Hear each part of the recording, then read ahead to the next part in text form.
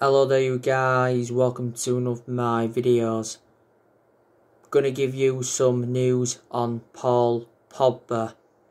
Then I'm gonna talk with you a bit more about Ole Gunnar Solskjaer. So start with the news on Pogba anyway. So Paul Pogba's agent held talks with Juventus in Milan last week. And I think there's a good chance Paul Pogba will go back to Juventus if he leaves Manchester United in the summer transfer window. Paul Pogba endured four very good years with Juventus before he rejoined Manchester United. He has had a long running transfer saga. You know, there's been narratives of him going back to Juventus He's been relentlessly linked to a move to Real Madrid, and PSG have also been in for him. I reckon we'd get from between 60 to 70 million if we sell Pogba in the summer transfer window. Now, Paul Pogba obviously started against Leicester. He was quiet in that game, but Paul Pogba obviously played a part in Mason Greenwood's goal. Paul Pogba came on against Milan and obviously scored the goal and made an instant impact. Paul Pogba has just recently come back from a thigh injury.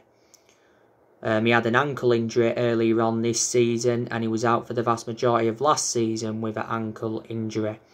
But Paul Pogba is an imperative player because he brings creativity to the team. And I think Paul Pogba's much better on that left wing because that's where he's more effective. So I'm saying the exact same thing as what Paul Scholes said not so long ago. Ole Gunnar Solskjaer has recently come out and said that he's hopeful that Paul Pogba will stay at Man United and sign a new contract. Solskjaer has said that Man United are in talks with Paul Pogba over a new contract, but we have not yet made a formal contract offer. Earlier on this season, Solskjaer suggested Pogba could sign a new contract because he said he's happy at the club. Mino Raiola, he's desperate to get his client out of the football club. Earlier on this season, Mino Raiola said he's got no intentions of destabilising his client's season at Man United and he made an admission saying that he's working quietly on Paul Pogba's transfer to avoid offence. Because Mino Raiola doesn't have a good relationship with Man United and he has been criticised a lot. He made an announcement back in December regarding Paul Pogba and Solskjaer was furious with Mino Raiola's announcement Earlier on this season, we triggered that one year extension on his contract, so he's under contract with Man United until June 2022. Matthias Pogba, Paul Pogba's brother, he came out earlier on this season and advised us to sell Paul Pogba in the summer because he said there's a good chance that I'll leave for free next year and he said he's got no intentions of signing a new contract. Pogba's our most expensive signing at the moment because we paid £89 million for him. And this is his fifth season at the football club since he rejoined. But I would like Paul Pogba to stay at the club potentially past the summer.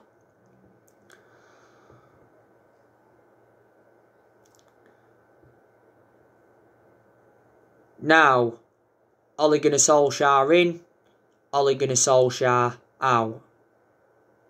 This is a debate. Now, I think the vast majority of Manchester United fans want Ole Gunnar Solskjaer out. We won't sack him at this present time because obviously at the moment there is no one available to replace him. Ole Gunnar Solskjaer has one more chance. The Europa League is the only chance of us winning any silverware this season because we're no longer in the FA Cup. So if we fail to win the Europa League this season, I think there's a good chance that Solskjaer will be sacked at the end of this season. Uh, Danny Murphy also believes this. Solskjaer needs to win a trophy because that marks progress. Gary Neville said the exact same thing not so long ago. We haven't won a trophy since 2017 and that's nowhere near good enough to our standards. A club of our stature need to be winning trophies.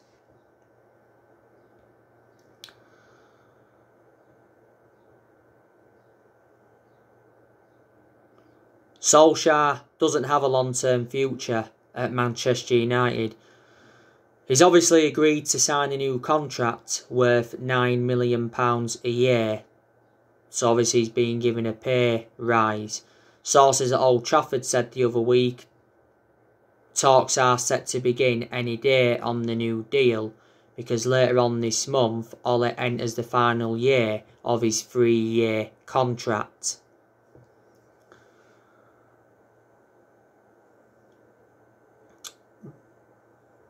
But obviously, it doesn't mean he's going to see out this contract, you know, obviously, when he does sign it.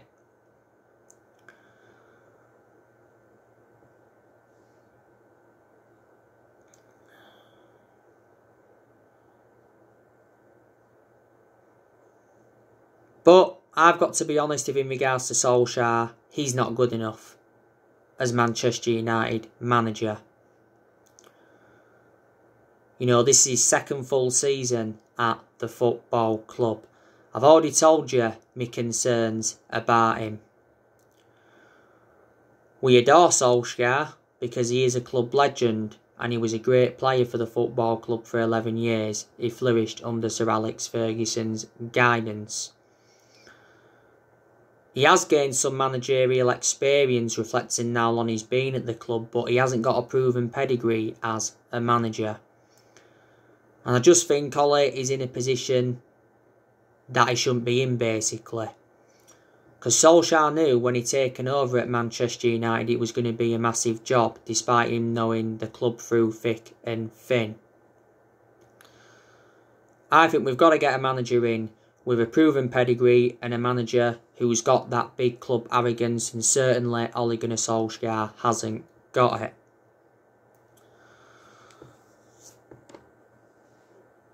I think the club made a mistake by giving him the job permanently. But the main explanation we give him the job permanently was reflecting on what he did in that three month period when he was the interim manager because he won 14 games out of 19 in all competitions, so the club decided to give him the job permanently in March 2019. But I think a lot of mistakes have been made for the last, what, eight years, and that's why we haven't been as consistent as we'd like to have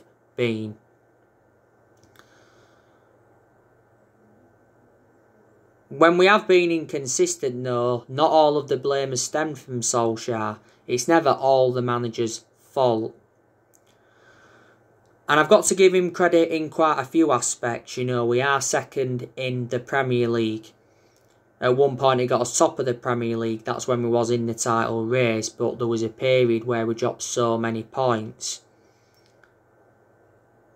So that's why we're no longer in the title race now. You know, we've enjoyed good periods under him where we have seen consistency and where he has got the best out of the team in some of them good periods and He's improved certain players. And I like the way he has promoted the youth. You know, he got us to the FA Cup quarter final, he's got us to the Europa League quarter final. He did well last season in his first full season, guided us to three semi finals, got us qualification for the Champions League, and got us a third place finish went on a 19 game unbeaten run in all competitions last season, was 14 unbeaten in the Premier League. And yeah, Ole has made some good signings as Man United manager. He spent almost £300 million and so far has endured four transfer windows as permanent Man United manager. And he's got rid of a lot of the deadwood since he got recommended in.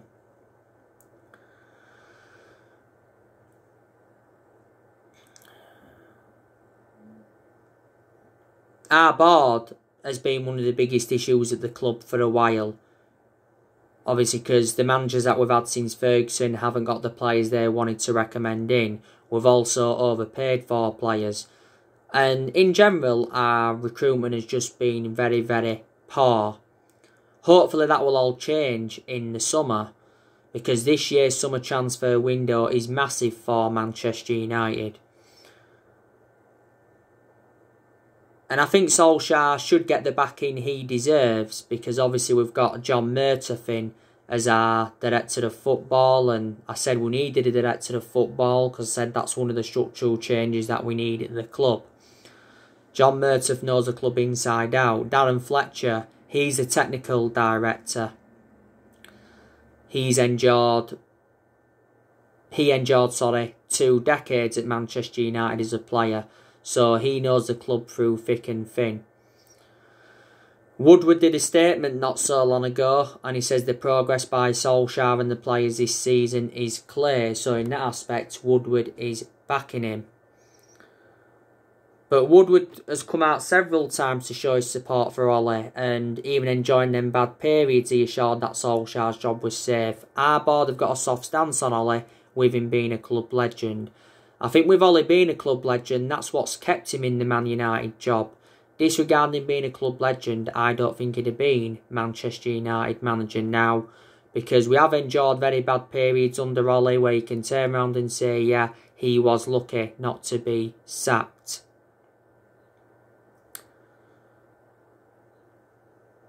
But I've probably got to say he's the best manager since Ferguson. Our transfer budget has been revealed for the summer. It's £80 million. That's nowhere near enough for the players we want to recommend in. Solskjaer's planning to sell some players in the summer, so that will bolster our transfer budget. He hopes to raise as much as £60 million, so that would take our transfer budget to £140 million you can identify the weaknesses in the squad. And the areas we're looking to strengthen up is we're looking to get a striker in, we're looking to get a right winger in, we're looking to get a holding midfielder in, we're looking to get a centre half in. I think we're also looking to get a right back in to provide competition for Wan Bissaka. But we've been linked with quite a lot of players now, obviously, you know the news on Pedro Neto from Wolves. Now, Man United are eyeing a 50 million plus move for Pedro Neto. We are seeing him as an alternative to Jadon Sancho.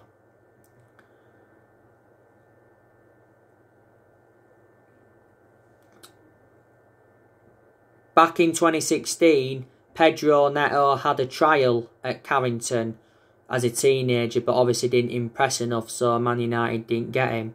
His performances for Wolves have been outstanding. Wolves paid £18 million for him from Lazio. Before he was at Lazio, Lazio he was at Braga. He's under contract with Wolves until 2025. And he's a right winner, and he's only young, he's 21 years of age. Erling Haaland, I'd certainly take him at Manchester United. Now, recent narratives said that Erling Haaland favours a move to Real Madrid, so in that aspect, we've been handed a Erling Haaland transfer below. Uh, Haaland recently scored twice in Dortmund's 2 2 draw with Cologne. He stormed off the pitch in that game. He's been subjected to a lot of transfer speculation though as Haaland. There's been so many clubs in for him. Ollie said earlier on this season that he's keeping in touch with Haaland and is following Erling Haaland's progress. And back in December 2019, Solskjaer and Woodward went to Norway to meet up with Erling Haaland to negotiate a possible move to Manchester United.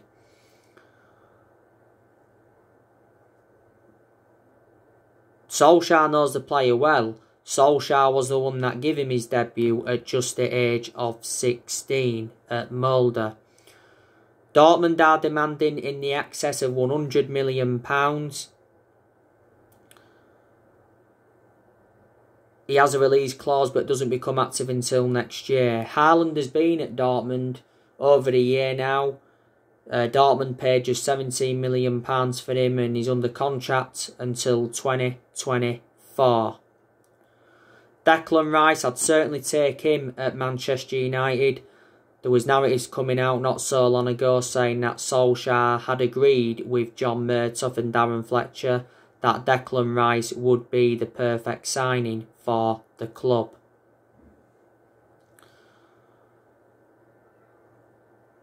Apparently, West Ham are demanding £80 million. Says earlier on this season they was considering lowering their asking price to £50 million. So if we're willing to pay £80 million, that will convince West Ham to offload him. He was relentlessly linked to a move to Chelsea last year was Declan Rice. Uh, that's when Frank Lampard was in charge and Frank Lampard was infuriated when he missed out on Declan Rice as he was his top target. The main explanations I take Rice at Man United is because he's young, he's got a lot of development in him. You know, he breaks up the play well, he gets forward well, he's well Premier League proven he's been at West Ham seven year now. He's under contract with West Ham until 2024. Before he was at West Ham, he was at Chelsea. He was in their youth setup for several years. I'd certainly take Rafael Varane at Man United, but I don't see us getting him. I'd take Jules Koundé from Sevilla because we've also been linked with him. So, in the summer transfer window, I'm expecting us to make around three or four signings.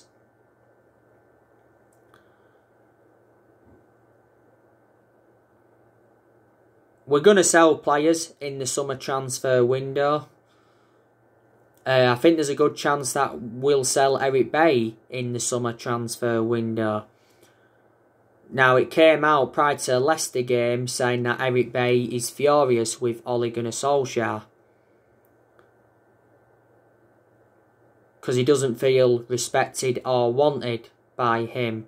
And apparently says Bailly is going to reject the contract offer uh, Bailly's come out and said that we only want to get him a new contract, so obviously we can receive a bigger transfer fee. You know, Bailly's actually lost his place in the team, and I've been impressed with Bailly in the games he's been involved in this season. I prefer him to Lindelof, definitely. Bailly's got like 15 months left on his current contract.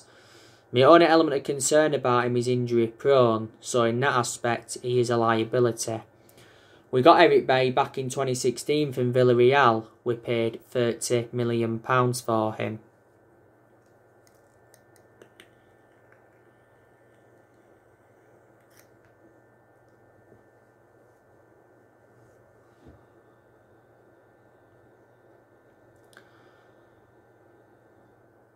David De Gea uh, there's a good chance we'll sell him in the summer transfer window so we can make Dean Henderson our first choice goalkeeper. Dean Henderson has now started six games in a row for Man United and I've been impressed with Henderson um, in the games he's been involved in this season. Dean Henderson's still young, he's got a lot of development in him and he's now reliable enough to become our number one goalkeeper because he has got that experience behind him and plus he enjoyed two successful loans with Sheffield United. We sell De Gea in the summer. I reckon we'll get around £50 million. There was narratives coming out the other week saying that we are willing to listen to offers for De Gea. You know, this is De Gea's 10th season at Manchester United, so he has been a long servant at the club. And I reckon he's had around seven and a half, eight good years because in the last couple of years he's been a liability, reflecting on the calamitous mistakes he's made. But De Gea has won everything domestically at the football club. He's made over 500 appearances for us in all competitions. And earlier on this season, Ollie warned De Gea that his number one jersey is under threat. Phil Jones, I want him to leave this year. Surprised he didn't leave in January, but Solskjaer said he's going to be given a second chance. Jones doesn't get in the team and he's been out of injury for over a year. Jones is only the outfield player that's still here from the Sir Alex Ferguson era. This is his 10th season at Manchester United, so he's been a long servant.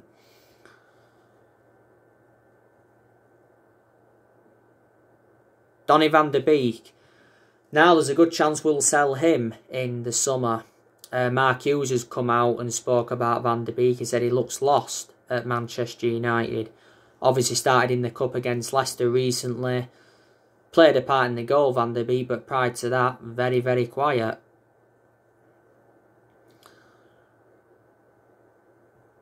Now, apparently, Donny van der Beek feels loved at Manchester United, despite his lack of game time. There was narratives coming out not so long ago saying that Donny van der Beek has threatened to quit Man United after one season due to his lack of game time and he's set to hold showdown talks with Ed Woodward over his future. Uh, ESPN said back in January that we rejected several loan offers for Van der Beek because we was reluctant to let him go.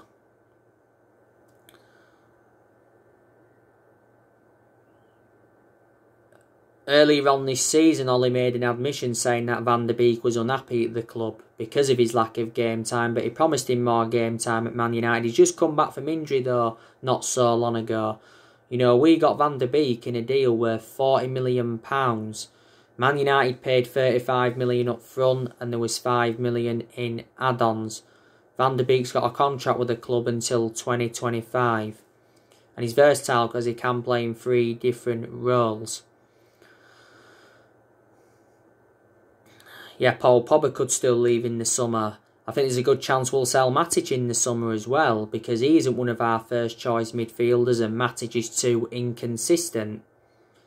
I've always had my strong reservations about him because he's always been a slow player as Nemanja Matic and he's aging up. Matic has been at the club almost four years. We got Matic in a deal worth £40 million from Chelsea back in 2017.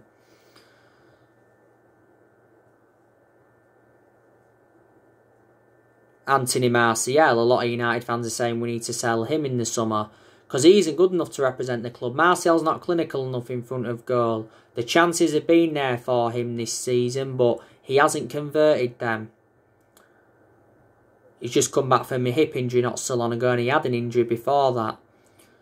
Earlier on this season, Solskjaer said he was impressed with Anthony Martial's work rate and he backed him to rediscover his form. Martial was good though last season and he was good in his debut season under Louis van Gaal. Martial has been at the club over five years. I think it was last season Solskjaer gave him that number 9 shirt.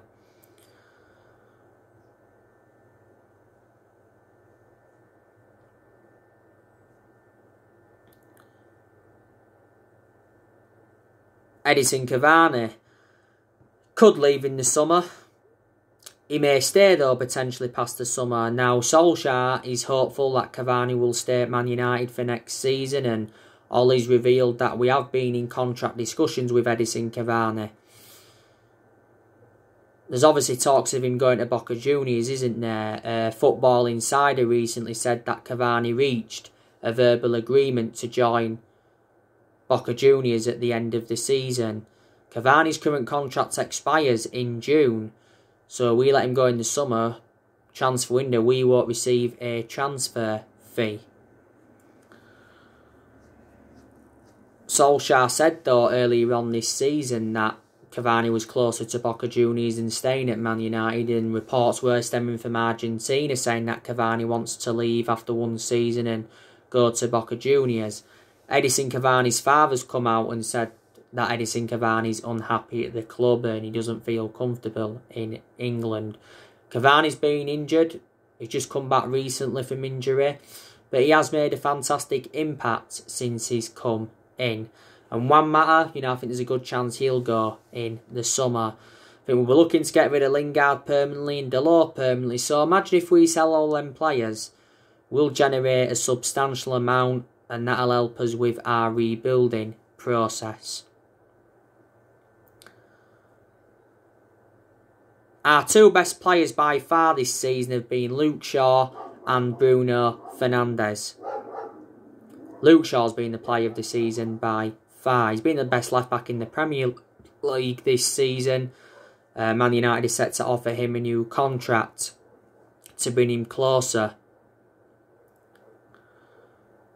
to the club's top earners.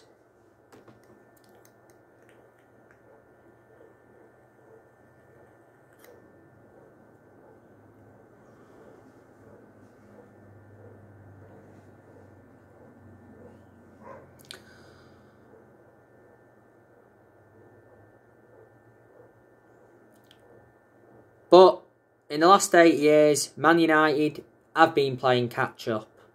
And like I said, we've made mistakes. That's why we haven't been as consistent as we'd like to have been.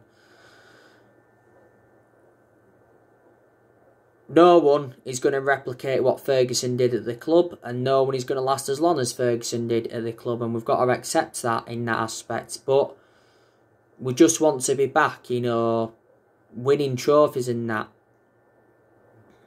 Nothing has changed at all in the last eight years. You know, obviously when Ferguson retired, we brought Moyes in. Moyes came in because Ferguson recommended him in. Didn't work out under Moyes. Moyes is the worst manager we've ever had. We finished seventh under Moyes. That's lowest we've finished in the Premier League era. He endured 10 months. Louis Van Gaal, we brought him in it was a good start under Louis Van Gaal, and then it all went downhill. We won the FA Cup under Van Gaal. And then Jose Mourinho brought him in after Van Gaal, had one good season under him because he won three trophies in his first season and got a second in his first season. Then in his second season, he was terrible.